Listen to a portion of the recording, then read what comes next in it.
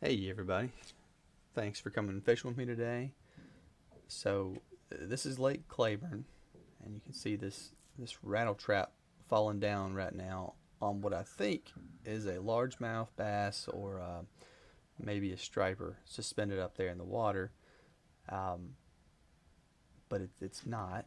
And you see me set the hook real hard and lay into him. And about right here, I realized this is this is something else.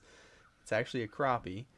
Um, that and it, I set that hook way too hard and wound up tearing the hook out. But uh, it, it was a crappie suspended up there, and that really surprised me because this is late afternoon, and I've spent all this morning catching crappie in two foot, you know, to six foot of water, and you know we caught 34 fish or so there earlier this morning, in, in shallow, shallow, and I was still finding them out in 50 foot. Now this, I swapped over to a crappie rig, and yeah, there he goes. That's not a crappie. you you can hear him streaming out drag. Um, uh, so as soon as I swapped over to my ultralight, when I said, "Oh, okay, there's crappie out here too," yeah, I said that's not a crappie. Uh, no sooner did I do that, that the uh, the striper found it and on the, on the drop there. I was actually going for a fish on the bottom, and a striper just happened to be patrolling along and snagged it up. Um, I wound up catching three of these stripers today. I got this one on video, but man, these things fight. Uh, they fight with a bass pole. Um, on an ultralight, it's a it's a whole different world of a fight. But watch this. Uh, live scope lines up again right here, and so that's the fish right there, that highlighted in red. But look, he's got other stripers all around him, just like they did last year when I, I caught him in this situation, where you can, you know, when one of them's going crazy like this because he's caught. The other ones are mobbing all around him. Um, it kind of gives me some other, some ideas for how I might catch these guys in the future.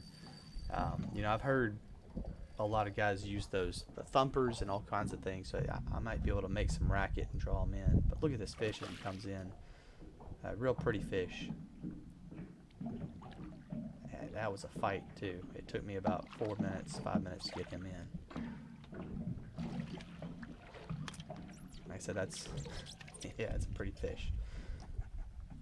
A good one on an ultralight pole and six pound test line. There he is.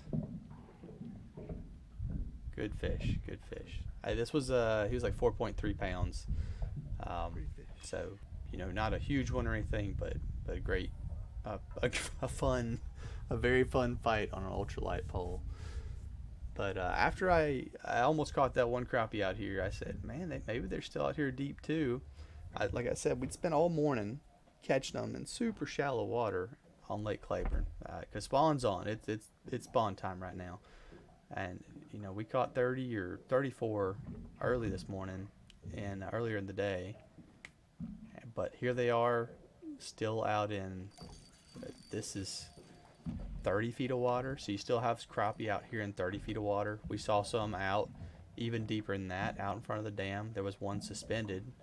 Now he was up at like 15 or 18 foot, but they're still out here. So uh, the crappie, you know, I, I, recorded this video, I think uh, early March, March 2nd, March 3rd.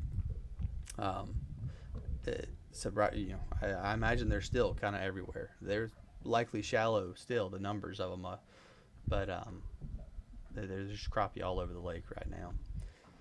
Everywhere you look, you'll see them floating around, and the the stripers also. That's what I really come out to this lake for. I, I, you know, we came out here to catch crappie, but oh, look at that one. Yeah. I came out here with my brother this morning to catch catch some crappie, um, and we did that. We got a lot of them, but I really come out here for these stripers. I I love to fight those big things. Oh, to this one. This is a weird one. I didn't. Okay, so you can just you can see it dropping. Now I didn't see this when it was happening in real time. It dropped right over that fish, but you saw him kind of chase it down. That fish chased it down and hit it on the drop. I don't know it's hooked right now. Now I do. So he, he hit it on the drop and swam right towards the boat. I I could not feel that bite at all, and I wasn't watching my line because my eyes were locked on that screen. That's a big crappie. Um, most of the fish we caught today were huge. The few on this this video, you know, they didn't look that big, but that out of those, I think our average size fish today was like 13 or 14 inches for crappie. I caught one that was 15 and a half inches and two pounds. So it was a really fun day of fishing out here. That's all I have for today. Thank you everybody for watching, and I'll see y'all back here again soon.